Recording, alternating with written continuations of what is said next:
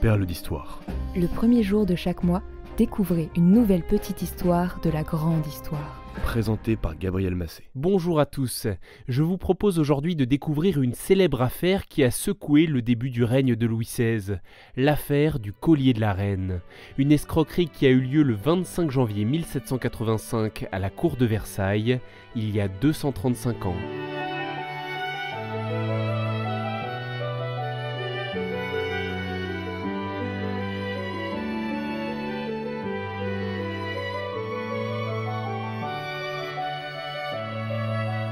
Pour bien comprendre toute cette affaire, il faut revenir une quinzaine d'années plus tôt. Louis XV est sur le trône de France et il souhaite offrir un extraordinaire cadeau à sa favorite, Madame du Barry. Le roi passe donc commande à deux grands joailliers, Baumer et Bassange, du bijou le plus somptueux qui puisse exister. Les deux artistes se mettent donc au travail, ils cherchent les plus précieux diamants et fabriquent personnellement la monture. Cela prend des années et quand ils ont enfin terminé leur ouvrage, le roi Louis XV est déjà mort. Madame du Barry, à laquelle était destiné le joyau, est maintenant très mal vue à la cour.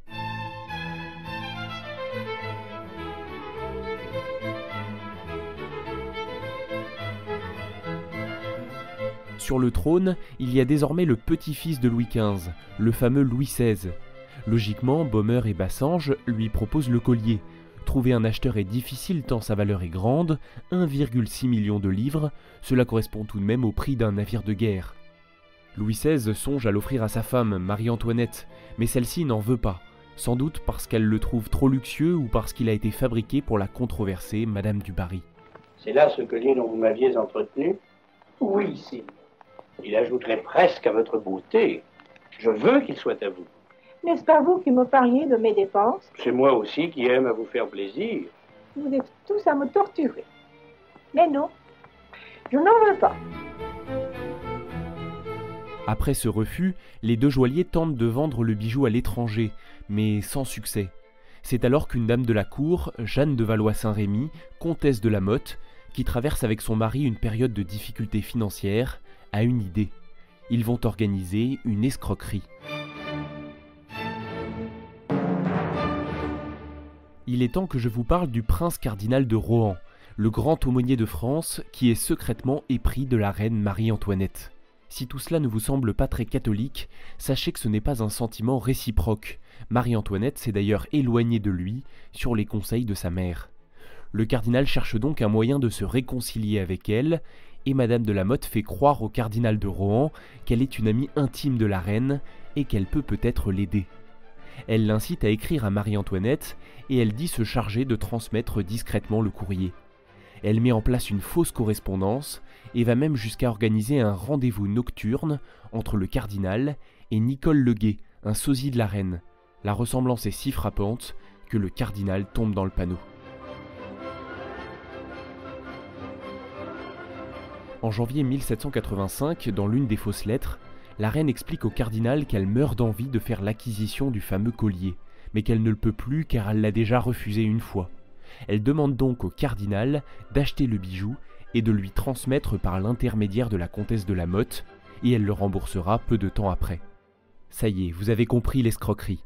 Évidemment, le cardinal, lui, n'a pas le moindre doute.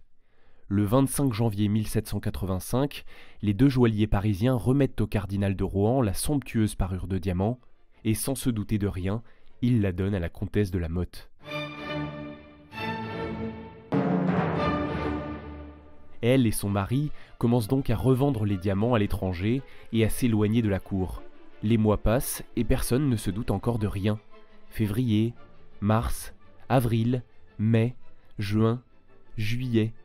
Au mois d'août, le cardinal qui ne reçoit pas le versement de la reine commence à se poser des questions. Baumer, à qui on avait prétexté des difficultés financières pour le retard du paiement, prend peur et demande alors des explications à la maison royale. Le jour de l'Assomption, le 15 août 1785, le cardinal devait normalement célébrer une messe à Versailles. Ce jour-là, la reine le convoque et lui demande de s'expliquer. Vous êtes devenu fou le jour où vous avez pensé que la reine de France pouvait accorder des rendez-vous secrets ou se servir de vous pour l'achat d'un bijou. Madame Vous vous êtes déshonoré, monsieur. Cela vous regarde.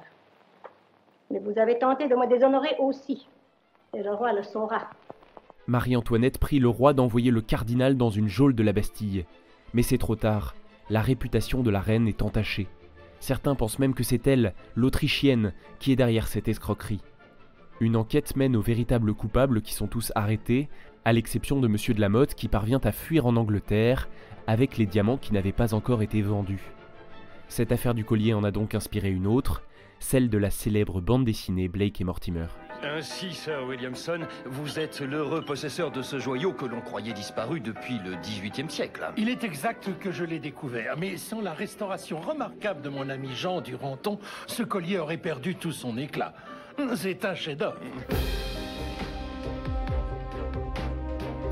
Merci d'avoir écouté cet épisode. Vous avez entendu quelques extraits du film L'affaire du collier de la reine sorti en 1946 et du dessin animé des aventures de Blake et Mortimer, L'affaire du collier. Si ce n'est pas déjà fait, pensez à vous abonner au podcast Perle d'Histoire. On se donne rendez-vous le 1er février pour un nouveau récit. Très bonne année à tous.